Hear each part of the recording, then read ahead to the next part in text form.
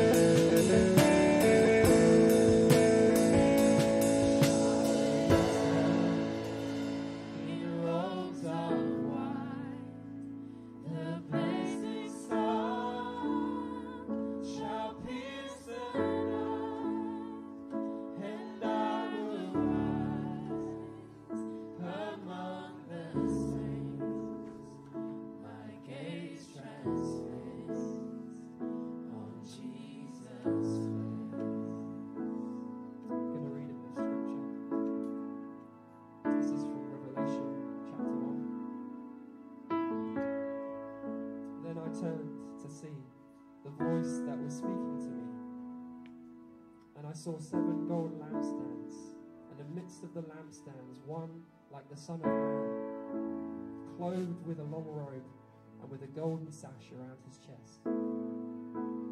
The hairs of his head were white, like white wool. Like snow, his eyes were like flames of fire. His feet were burnished bronze, refined in a furnace. And his voice was like the roar of many waters. His right hand he held seven stars. With his mouth he came out came a sharp two-edged sword, and his face was like the sun, shining in full strength. When I saw him, I fell to my knees. This is John recalling the moment where he saw Jesus face to face. He fell to his knees in worship, the awe in that picture of eyes like fire, white, which was purity and cleanliness and this beauty of the Lord. This verse we've just sung that one day we're going to see him. One day we're going to meet him. And it won't be a light moment. It won't be a light thing. It will be a glorious thing. It will be an awe-inspiring thing. A worshipful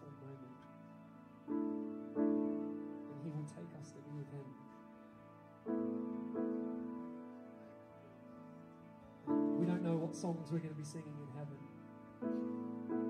But we know that we'll be worshipping him for all eternity. And later in Revelation, it says that angels are worshipping him right now, day and night, night and day. Let's join with them.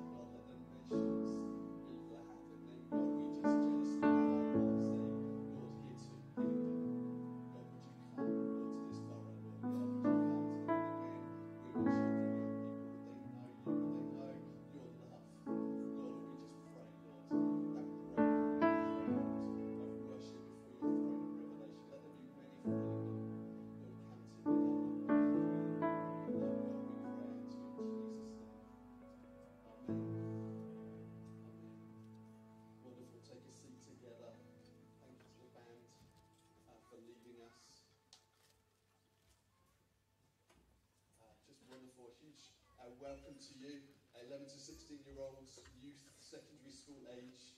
Go enjoy uh, your roots session this morning through the back to my right. Uh, have a great time, be blessed.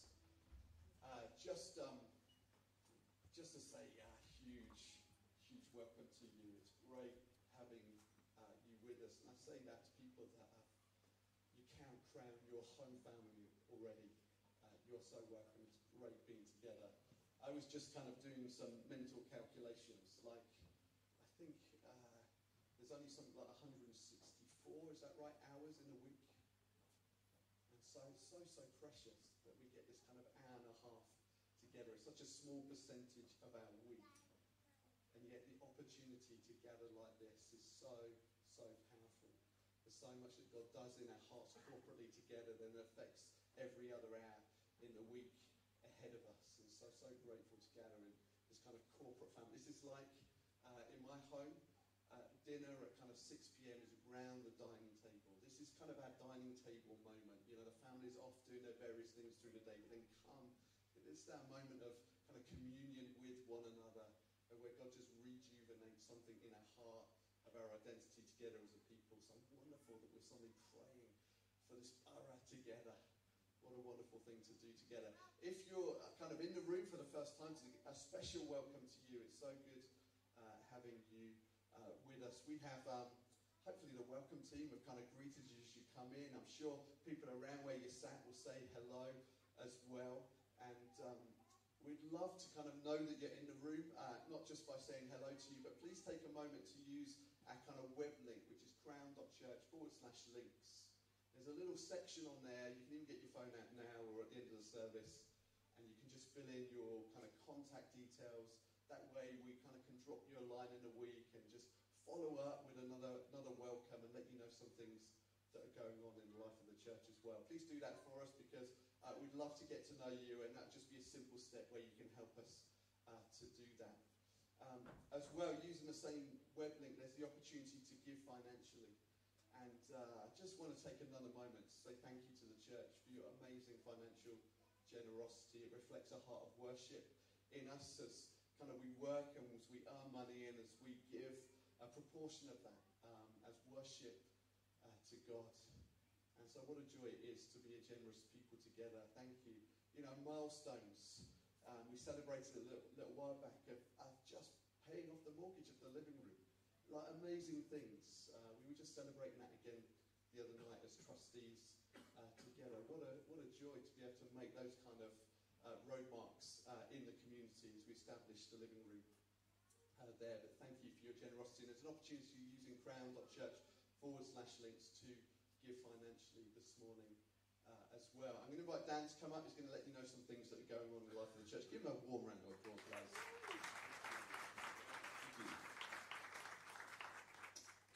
Interestingly, on Monday, 29th of November, is when the, the results come out from the most recent census.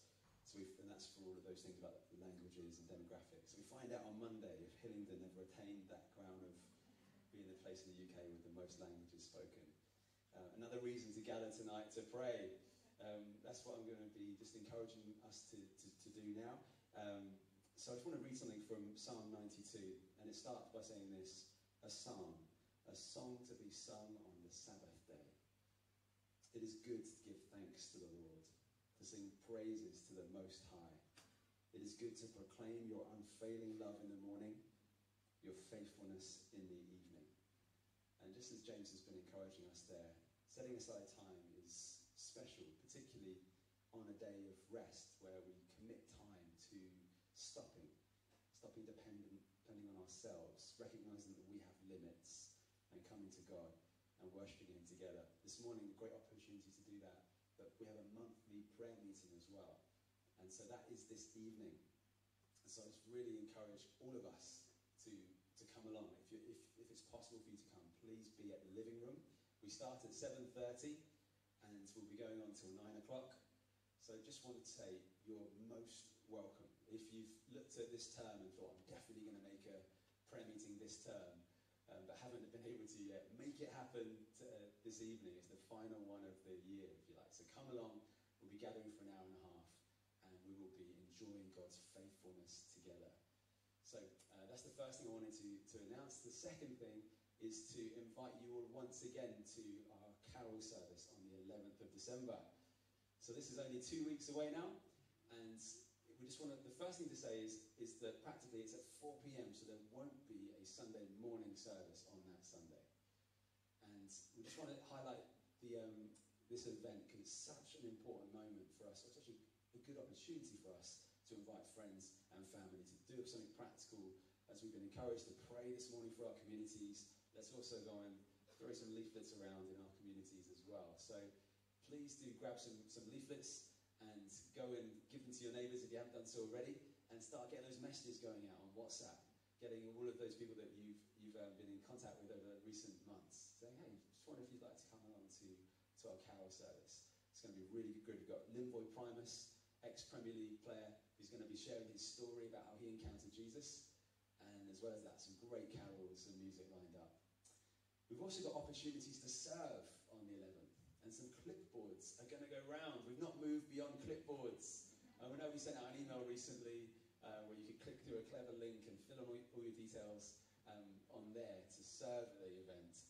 But there's something quite nice about still having pen and paper as an option as well. So these are going to go round now, and you'll see on there that there's different options for different teams if you'd like to serve at the event, and there's lots of opportunity to do so. So please have a quick look. There's different teams there. You can, or you can. I think it's number one that you can put down, which is I do whatever ever's needed. So please um, feel free to have a look at that as they go around now.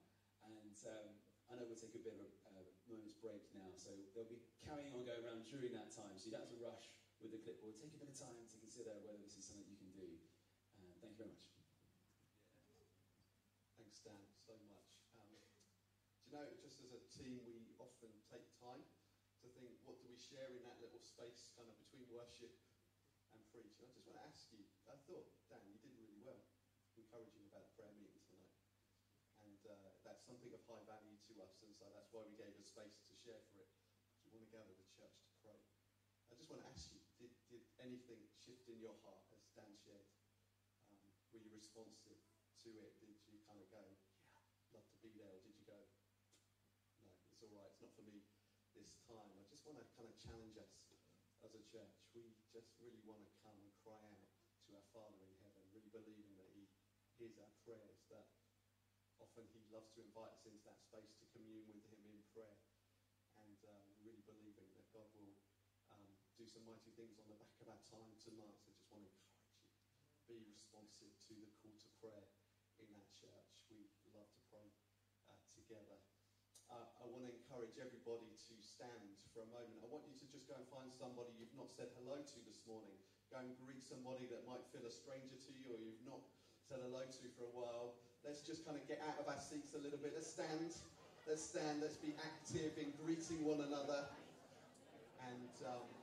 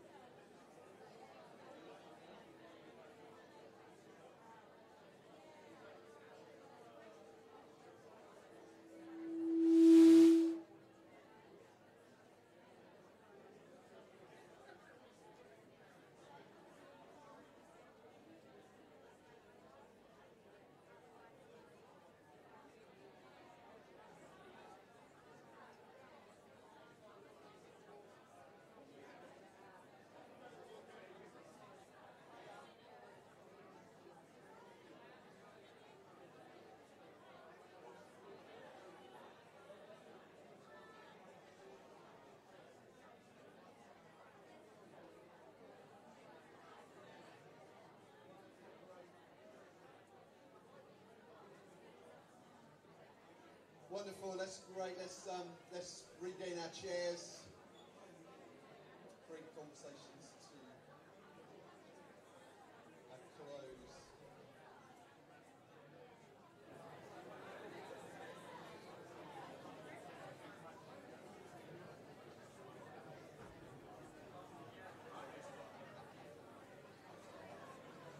Let's take a seat together. Wonderful. Let's close the conversations.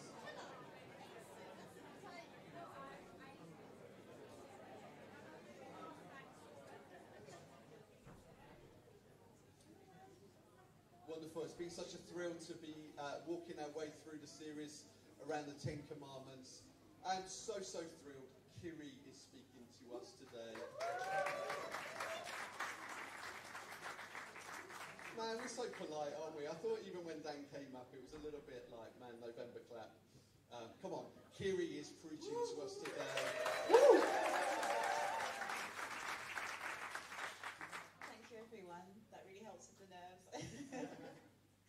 so, good morning. Today, we're going to continue with our series on the Ten Commandments with the eighth commandment in Exodus 20, verse 15 You shall not steal.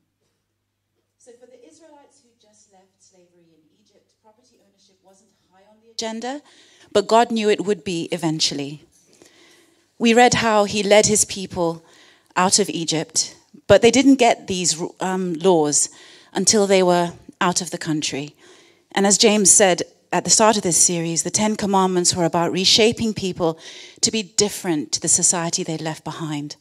The laws didn't set people free, but it, they did show them how free people lived. Theft is a matter of fact in most communities, and there are penalties for it for obvious reasons. Stealing undermines trust and it harms the common good. When I was going to school, um, my mom spent, and I know lots of parents will sympathize with this, ages, hours sewing my name into all my belongings. She wrote on with magic markers on the things that couldn't take labels, and then she sort of stapled. She did a lot of things. I just sort of looked on unhelpfully.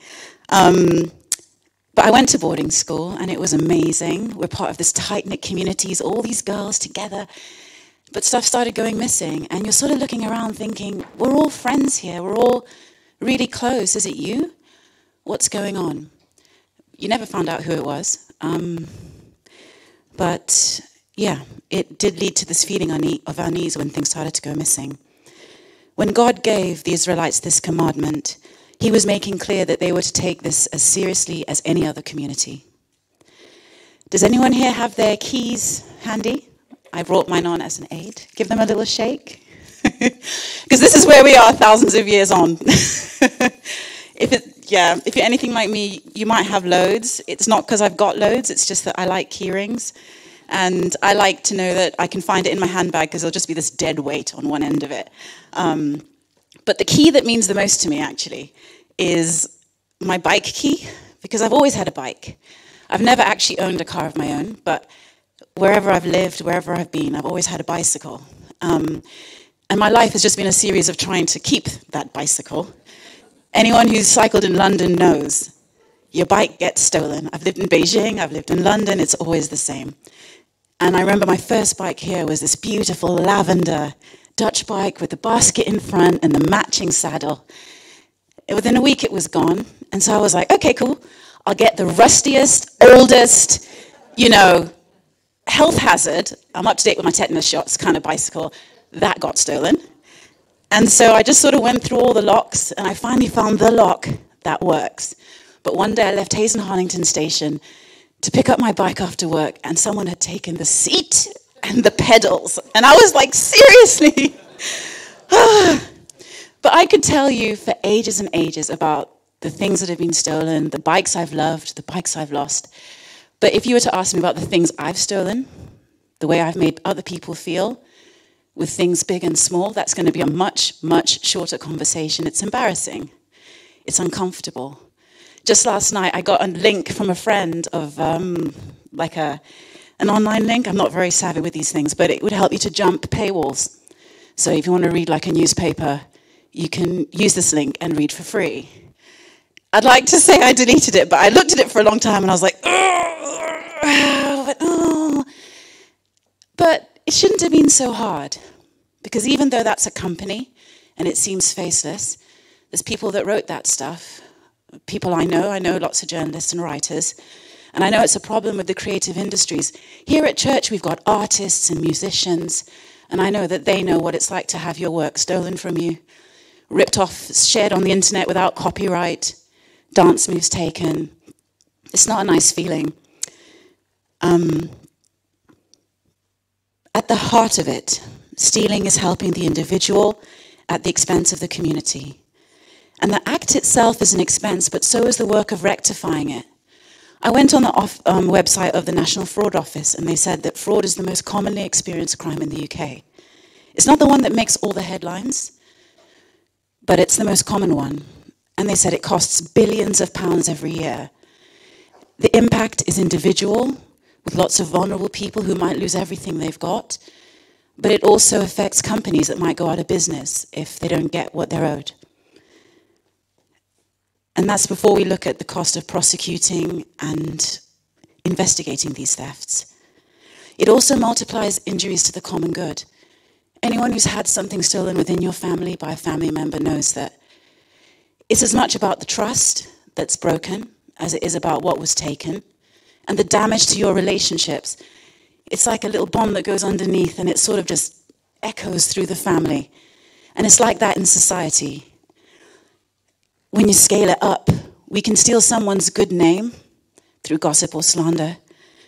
We can defraud the government with tax evasion or unjust trading. People can be stolen and suffer abuse at the hands of people traffickers. It runs the gamut. And no matter what we tell ourselves, no theft is victimless.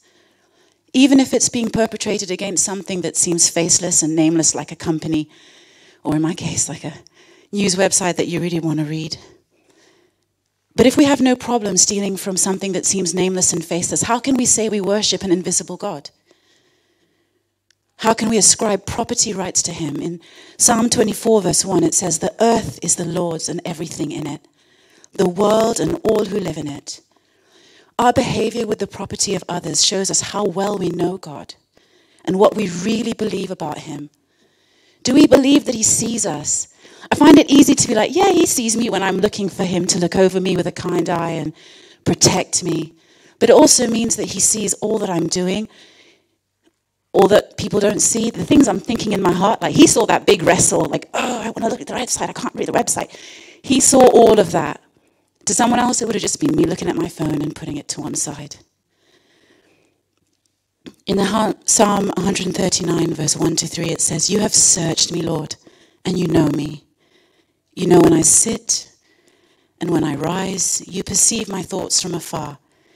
You discern my going out and my lying down.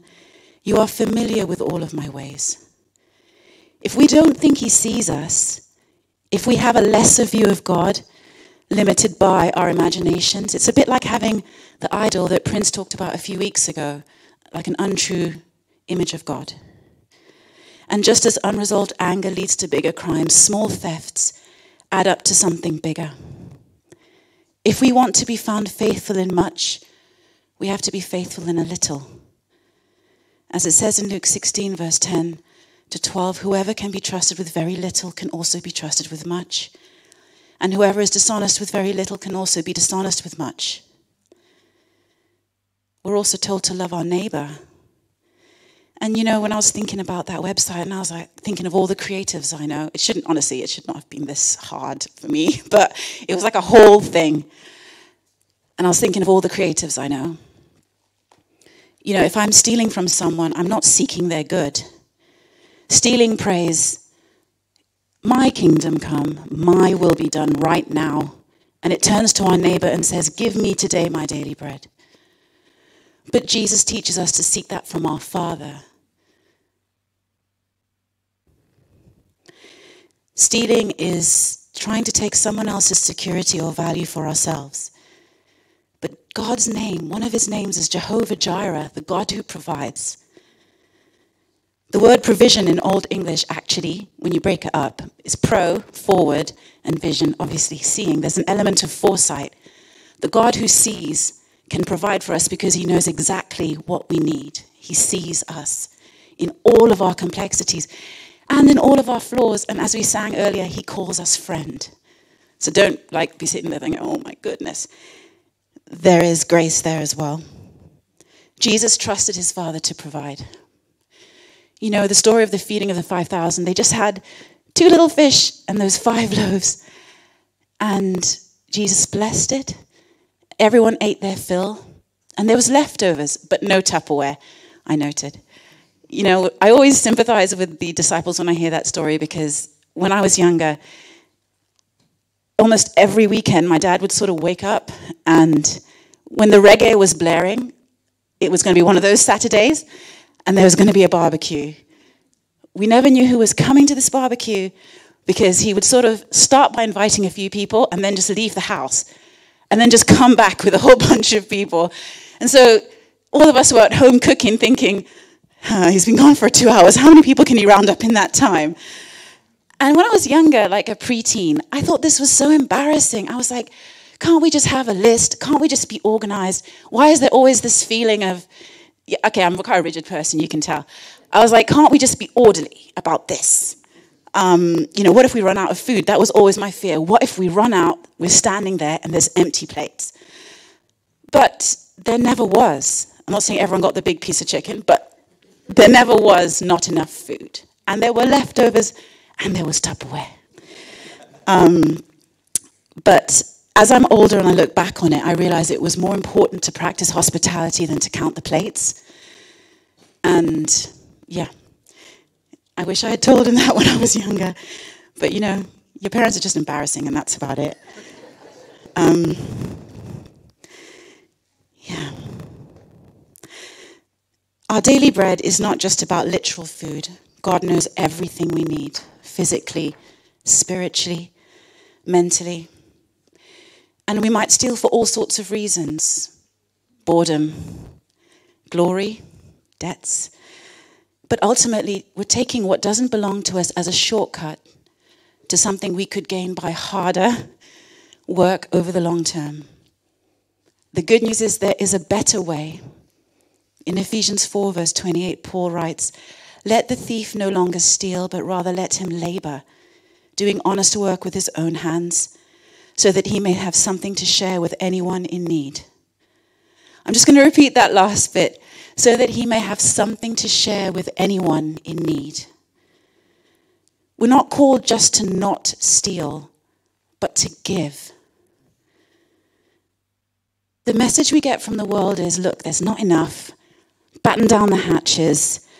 There's just a small pie. If I can just guard my piece of pie, I'll be okay. Because if I give you a bit of pie, that's less pie for me, and there's just, there's not enough. But Jesus speaks a better word that there is more than enough. Not just enough, but more than enough. And in light of that, I just want to say I know times are hard right now. You know, sometimes I watch, because I'm a news junkie, it's part of my job, it's interest. I'm a very boring person. I watch the news a lot, but even for me, I find it just relentless. Times are hard, and we don't know when it's going to get better. We just know that it's going to be hard for a sustained period of time. During the pandemic, someone coined the phrase, and I don't know who. We're all facing the same storm, but we're in different boats. And I read a report last week that said that a lot of the community spaces, like churches, community areas, that would be that safety net for people, are also facing the same rising energy bills. All the problems that we're facing in our homes are being replicated in the places where people would go for that help. It doesn't mean all that's all is lost, but it does mean that some of our safety boats are taking on water, and we just need to be aware of that. So you might think, look, okay, I won't steal, but I just don't have much to give. I've done all the money saving tips. I've been following Martin Lewis. I've got everything squared away, but I just don't see it. And I want you to hear me that this might be a season for you personally, a season to receive. Don't be afraid to receive help if you really, really need it. And I'm not saying that you ditch your keys, throw our responsibilities out the window and do something really reckless because we all have responsibilities and commitments we have to honor. But I'm also saying don't be afraid to give. And after going to the ladies' amazing ladies' evening, thank you, Harriet and Sonia, on Friday evening, I would go even further and say, be courageous. That's one theme that came through so strongly. We can be brave because we know that God saves, because He redeems. We just sang it at the start. He makes graves out of gardens. He speaks things into being that weren't there. That's a big hope. But we do have to listen. And you know, a few years ago, I was really busy. Um, I'm still busy, but I was busy in a different way because in my day job, I do human rights work, advocacy. And then in the evenings, I was also doing a lot of migrant uh, rights advocacy and racial justice advocacy. This is all very good and important work. But if I'm honest, I was hiding in it as well. Because I think it didn't start that way, but over the years, because I'm quite a shy person, even though I stand up and I do a lot of talking, I'm actually by nature quite a shy person. And fear is something I've struggled with all my life. Fear of big things, small things, just. I remember when I was younger, I would just be afraid. And then when I became a Christian, the biggest change was just knowing peace for the first time at 14.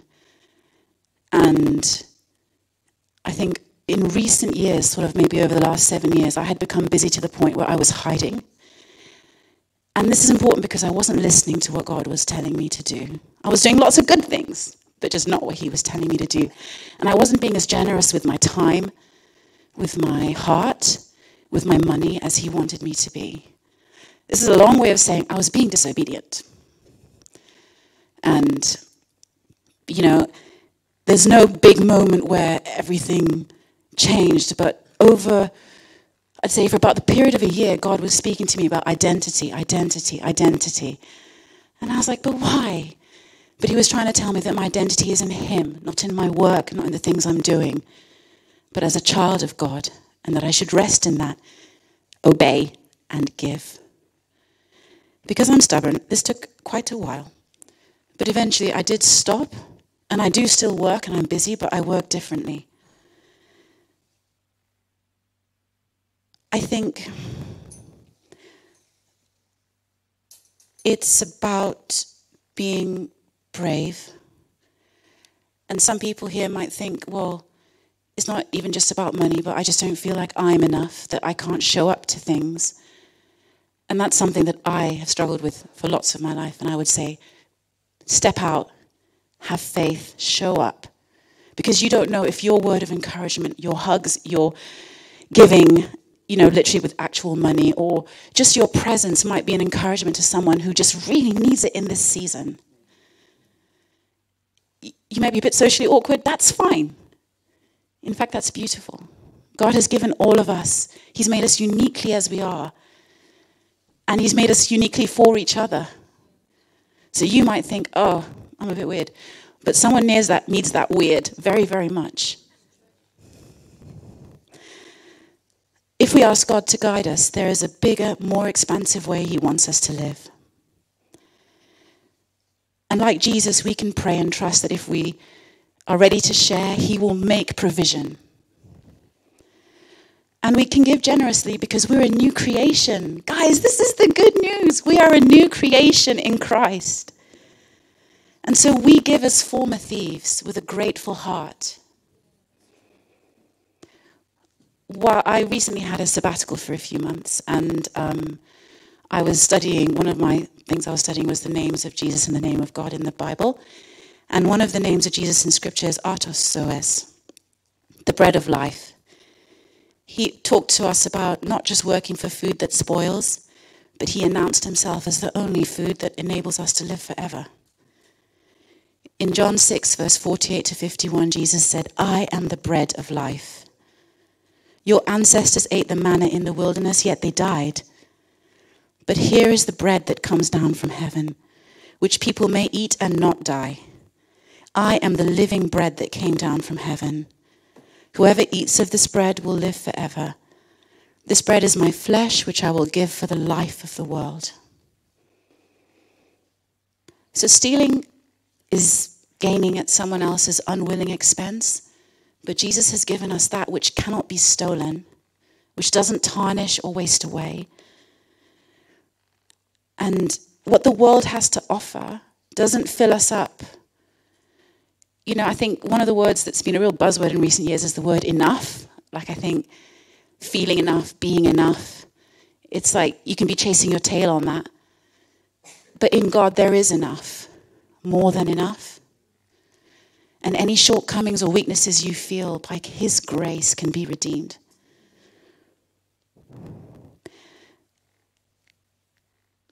We sang, Lord, there's nothing better than you, and that's so true. So, the eighth commandment was given to a particular people at a particular time in history, but it applies today. You shall not steal. But the positive corollary to that is give. Not just give a little, give, give abundantly. Step out in faith. His maths isn't our maths. My maths is really bad. I had was raised by two accountants, and my childhood was just them standing over me like, "How do you not understand this?" And I wish I'd known then that God has different maths. I'd been like, "I'm a child of God, and this is different maths, guys." But yeah, um, you know, when they say the church is a safety net, it's not a building. It's us, you and me. It's the living room and the work of New Ground in the Nations. It's the food bank. It's the kids' work. It's all these things that we do in our community. It's talking with your neighbor. It's that cooperation in your workplace. Taking a minute just to pray with someone maybe you don't even know. I did that on the bus the other day. It was a bit awkward, but I did it. Um, we're in the middle of this story with the economic situation and everything. But we know that God is good, and that's where our hope lies.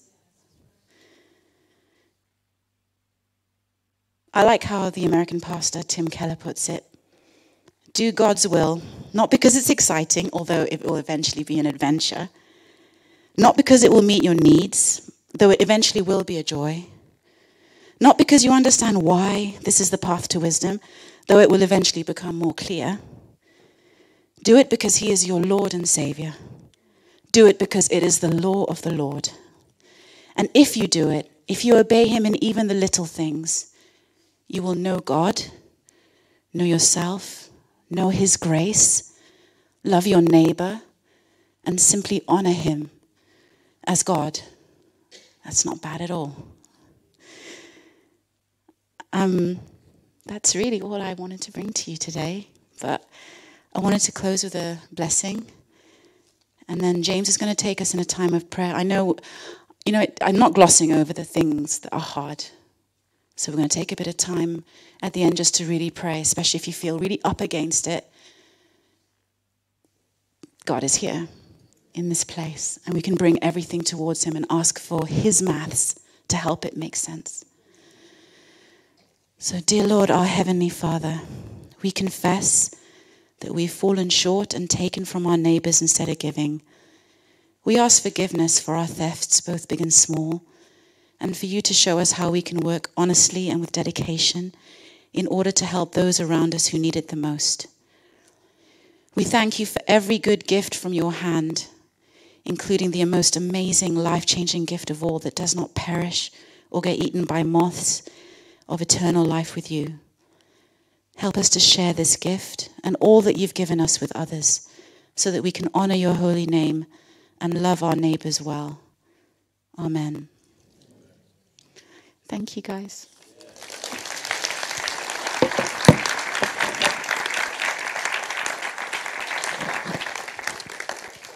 I, do want us just to have a time of prayer together. Just wonder if the band can, can serve us in a minute. Um, just as Kiri was saying, that word enough, and just the song that she said, Lord, there is nothing better than you. I think at some point in the next 15 minutes or so, it'd be good to sing that again together, just as a way of just saying, Lord, you, you are enough. just for our hearts to rise in that. It was the Rolling Stones that famously sang what was quite a good tune, actually I Can't Get No Satisfaction.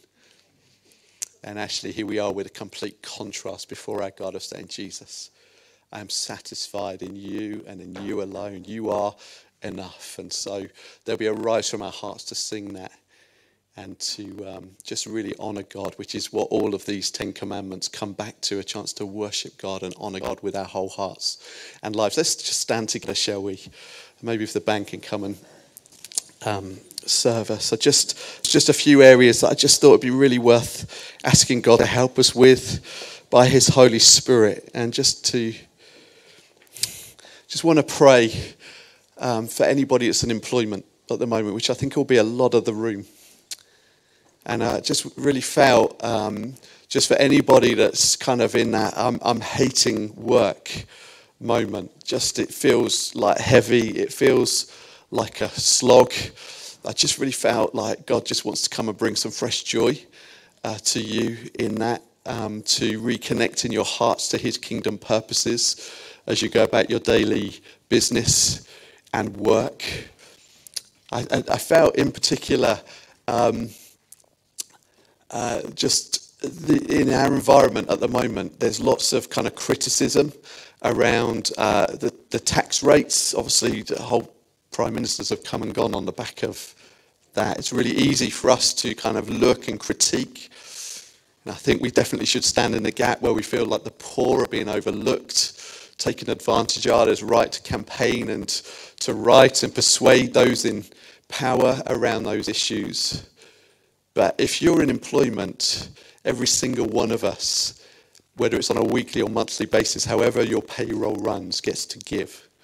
We get to give through our taxes, through our national insurance. There's a, there's a moment in the month where each and every one of us is, is, is committed to an act of generosity into our community. I, I love that we live in a country where there is some thought, there is some process around our care for people in society. I love that money comes out of my salary to pay for education. I love that money comes out of my salary to pay for people's good health. And I love that money comes out of my salary to help protect the vulnerable in our communities. There's many things that our taxes go on that are absolutely in the heart and rhythm of God for our nation and for our people. And so, even by the very act of going to work each day, setting the alarm in the morning, and getting to contribute to God's heart pumping through our nation in that way. Don't get me wrong, I know that there's detail within that of things that we'd love to see change and love to see happen differently.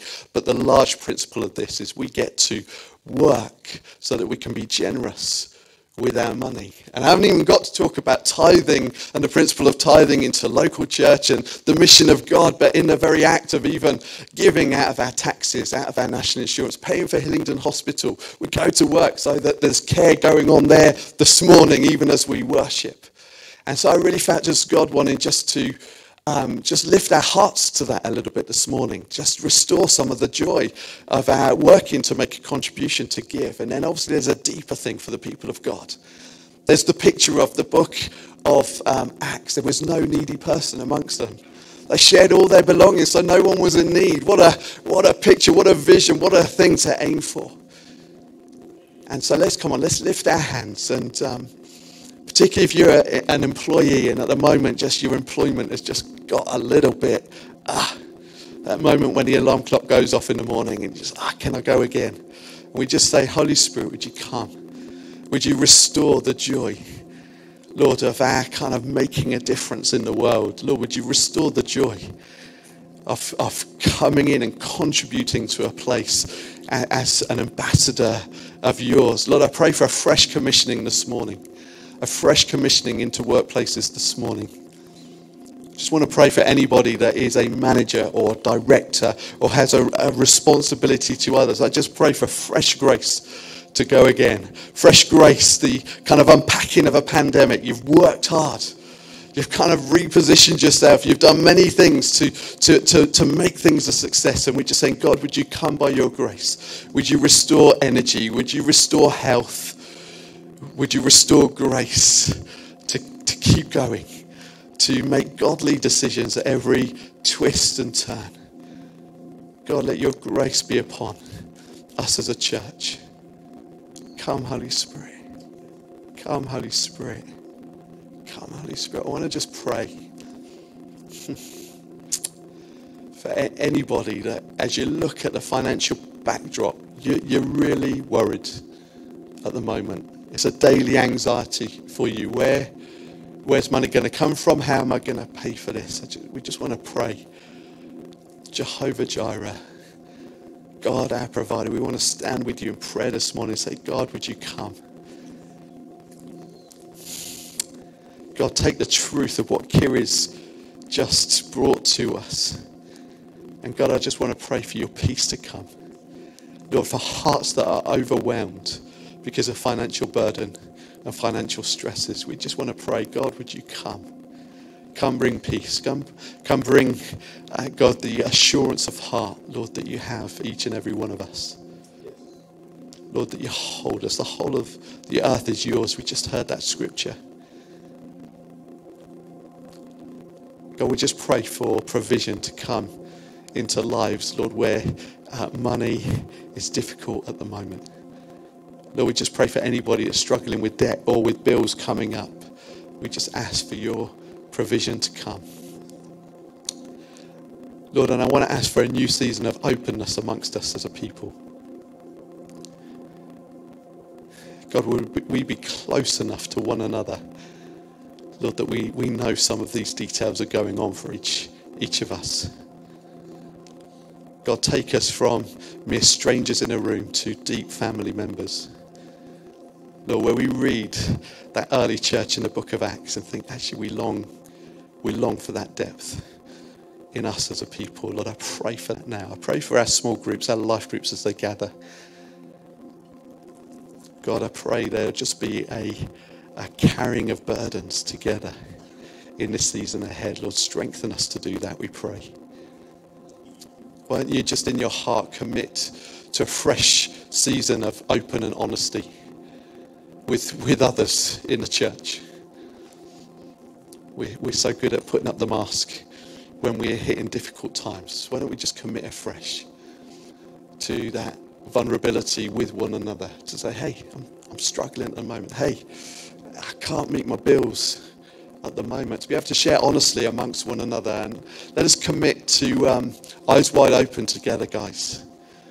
Just the willingness of heart to look around to see, to take that step of conversation, of care, of attention to one another. God, we just pray for that. We just say before you, this is this is a picture of family. This is a picture of your church, your bride, and so we just say together we long to grow closer to you, but closer to one another too. That there may be a genuineness of our care and a carrying of one another before you. Oh Lord, we pray, Holy Spirit, come. Come, change the atmosphere here. Lord, just as it's changing in our nation, we pray change it in the church. We ask you now to release a season of generosity amongst us. Lord God, as Kiri reels off the things like food bank, reels off kind of kids and youth, Lord, and international students, all those things that we know we're involved with, refugees.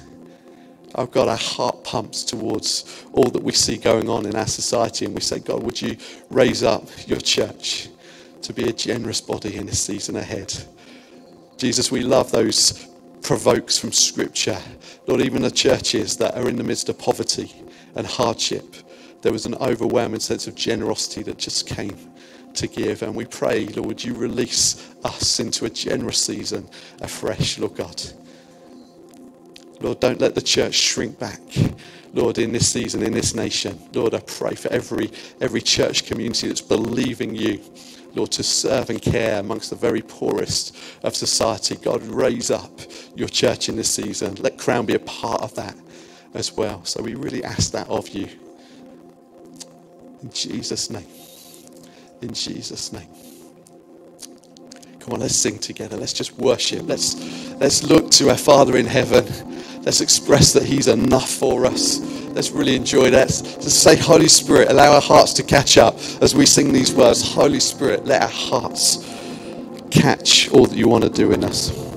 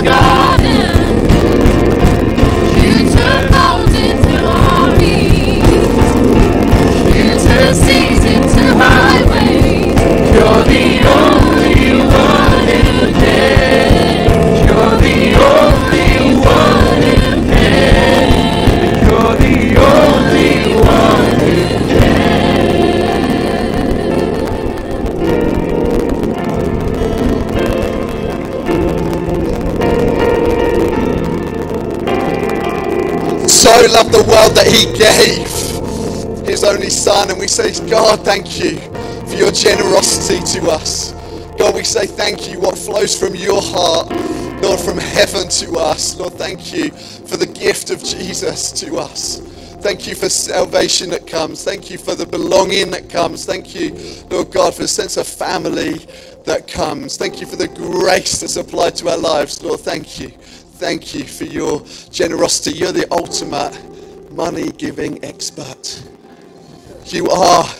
You're the one that looks at every situation and gives and gives again and goes again with a heart of grace and a heart of giving. God, you're one who never holds back. You're one who never keeps in reserve. God, you're always flowing. You're always flowing. Lord, from your throne room comes a river of grace and mercy and provision for your people that's to flow from your people, Lord, into the world. And so, God, we commit again to being, Lord, rivers, not reservoirs. Lord, we're not going to contain, we're not going to build up the walls, Lord, but we say, let the presence of God flow in us and through us, Lord, to the world around us. God, commission us afresh. Let us be money giving experts in this season, Lord, because we follow your tune. We love you, Lord. Thank you for your grace to each one of us. Amen. Amen. God bless you. Don't rush. Let's be generous with our time to one another. Let's hang with each other. If you've got kids to collect, go get them from the kids' groups. But God bless you. Look forward to praying tonight and seeing you in the week.